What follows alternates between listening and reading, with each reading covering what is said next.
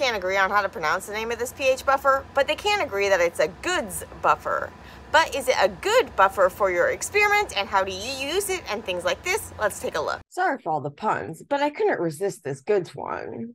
Norman Good and his colleagues figured out this list of 20 different buffers, so these pH stabilizers that were good for biological and biochemical research for various reasons, like they were water soluble and they weren't toxic and they didn't interfere with various processes, and they had a buffering range so they could maintain the pH in a range that was around physiological or bodily conditions, so somewhere around the 7, 7.4 range.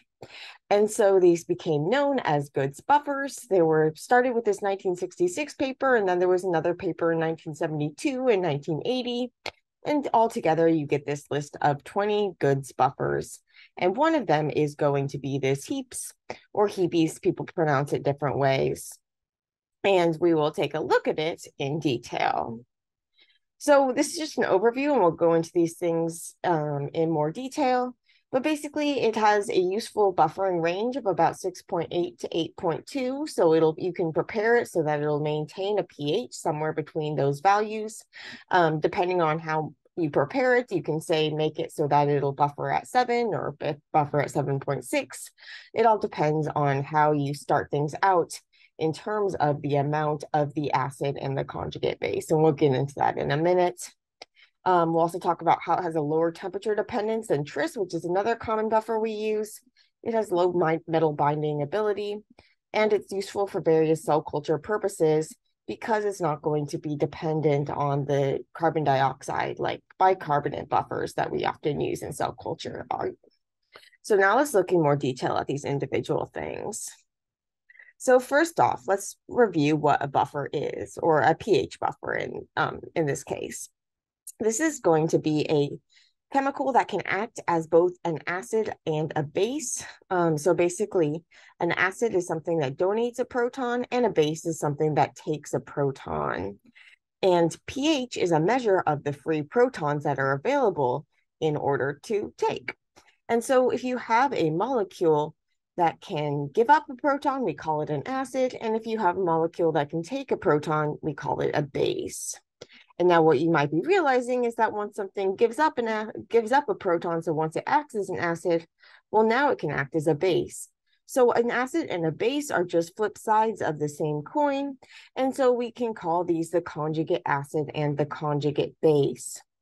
And in the case of HEPES, this would be our conjugate acid this form that's that's protonated at this hydrogen and not protonated at this um, at the sulfate group.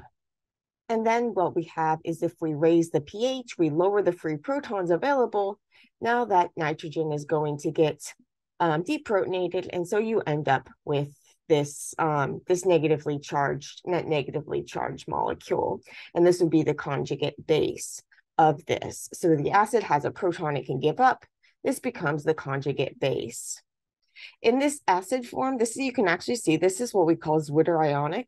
So it's neutral overall, but it has a positively charged part and a negatively charged part. So often you'll see HEPES referred to as a zwitterionic buffer. So if you go below the pKa of an acid, basically, or uh, so if you go below the pKa, basically this means that it's mostly going to be in its conjugate acid form. And if you go above the pKa, you're mostly going to be in the conjugate base form.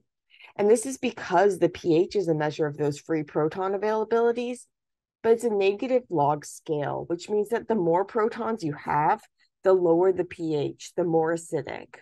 So if you're in an environment where there's a lot of protons available, then things are going to have be bound to those protons. And so you're going to be mostly in this conjugate acid form, that has the potential to give up a proton.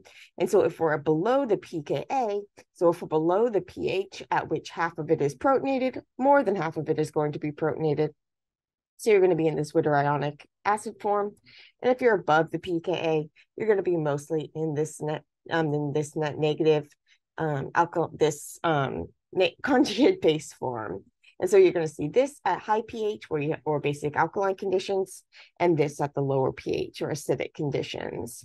And later we'll talk about how you can actually prepare buffers of HEPES by basically uh, dissolving. Typically what you do is you dissolve this free acid form and then you adjust the pH by adding base, helping sop up some of those protons, taking them from this nitrogen and giving you more of this. And so this by this way, you're able to kind of start out with whatever ratio of acid and base that you want in order to maintain the pH where you want. And so there's this thing called the Henderson-Hasselbalch equation, which I go into in another post. But basically, it tells you that the ratio of the acid and the base that you start with is going to therefore dictate what the pH will be held at, at least in, unless you kind of exhaust the buffering capacity. And so we'll talk more about preparing these, these solutions later. But let's get back to why we might want to use it. One of the reasons is it has a lower temperature dependence than tris. And so I mentioned tris before. This is another one that we commonly use in um, biochemistry and molecular biology. It's useful for um, several reasons, but one of them is that um, it has a or a buffering range that we like. Has a pKa that's slightly higher than that of HEAP. So if we want something closer to a pH of eight, tris can be a good good one for this. And there's some other reasons like various things that it doesn't react with. Um, but there are also some downsides, and one of them is that tris has a high temperature dependence. And so you can see that as you go to a higher temperature, basically what's going to happen is that the solution is going to acidify. So those protons are going to be given up more easily, and your the pH is going to lower. So if you were to say prepare your buffer at 20 degrees Celsius and then use it in a reaction at 37 degrees Celsius, well, now your pH is going to be lower than you thought that it should be. With HEPES, this is going to be less of a change. Another, um, so there are also some other benefits and disadvantages of every buffer. And so we talked about temperature of tris, um, pH, the pH dependence of tris and how it's lower with HEPES. Um, HEPES does, however, react with DEP-C. And there are some other things. So basically, it yeah, just take a look. I there, there are reasons why different buffers might be used for different specific things. But typically, one of the key places that you'll start is by looking at that pH, that buffering range, seeing what has a buffering range that is useful for you, um, seeing if there are anything like glycine groups or amine group, amine groups or things like this that might interfere with whatever experiments you want to do, and just look at what people typically use in the sorts of reactions that you are looking at to make sure that it'll be compatible. One thing um, that's good about HEPES um, is that it has low metal binding, so it's safe to use for with things like metal dependent proteins. There are some buffers that act as chelators, so they kind of bite down on or and hide metals, which is like phosphate and citrate containing buffers can do that. But HEPES isn't going to have that metal binding, and so that that can be useful if you need to be, if you need to be cautious about that. It can also be useful for cell culture, so to like mammalian cell culture especially when you're working outside of carbon dioxide controlled incubators. So typically when we're working with cell culture, so when we're growing cells in like these dishes or sometimes flasks and things like this, we're working in a carbon dioxide controlled chamber, like an incubator, but then we have to take, or we're not working in there, we're growing them in there. But when we actually work with them, we take them out of that incubator and we work with them in like a tissue culture hood. And when we're doing that, now we don't have that carbon dioxide control. And why this matters is because this carbon dioxide is needed in order to keep the pH stable in these solutions if those solutions rely on a bicarbonate based buffer system. So these off these the media or the like food that we're growing these cells in is often uses a bicarbonate based system because that's what our bodies use to buffer the pH. And this bicarbonate system, basically it relies on the fact that carbon dioxide in the air um, and then in our blood, it basically, it, when it dissolves in our blood, you get carbonic acid, um, which can then dissociate in, in, it can then give up a proton to give you bicarbonate. And you get this buffering system where you have this bicarbonate carbonic acid buffering system. And so if you add more carbon dioxide, well, now you're going to end up with things being more acidic. And if you take away carbon dioxide, well, now things are going to be more basic. And so what happens is if you take, when we have this carbon dioxide control in our shaker or, or in our incubator, we typically have it at like five or 8% carbon dioxide, which is a lot higher than the carbon dioxide in air, which is more like 0.3%. And so if we take things out of the incubator, well, now our carbon dioxide is going to be a lot lower, which means that we're going to have it be our solution is going to become more basic. And if our solution becomes more basic, well, this might interfere with whatever we're trying to do. Um, it might cause things to change in the cells. And so we, if we don't want this to happen, what we can do is we can add HEPES to the buffer. Um, and this can basically then serve as a sort of extra layer of protection for when you're working outside of that carbon dioxide control.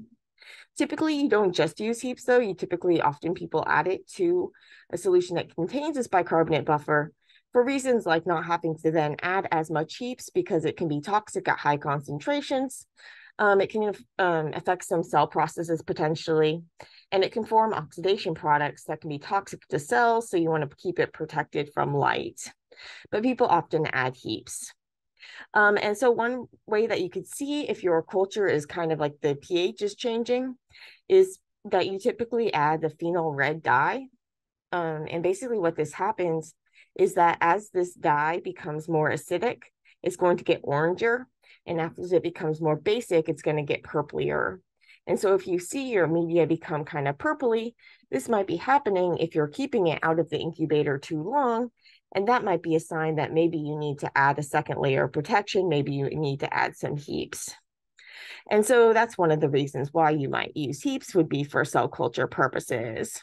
But we also use it for a lot of purposes that have nothing to do with cell culture because of the various useful properties. So let's talk really quickly more in detail about how we actually make it. So this is just from like Gold Bio. And then I added some notes. So basically, when we look at HEPES, it has a molecular weight of 238.3 grams per mole, and much more on concentrations and things in another post. But basically, if we want a one molar solution of HEPES, we would need to dissolve 238.3 grams in one liter of, of media, so or of water. So if we wanted a solution that was like 500 mils, we just divide that by two, et cetera, et cetera, et cetera. Now, if we were to just dissolve HEPES in water, we would get a solution that was not the pH that we wanted. Typically, we start with this free, well, this is like the free acid form. So basically, because it's zwitterionic, it's neutral. It doesn't need to have a counter ion hanging out with it. But at its basic form, where it's ne negative charged, well, here we typically get it as a salt. So you might get like heap sodium, um, sodium. Um, so it's like in the salt form with the sodium ion that would be neutralizing it.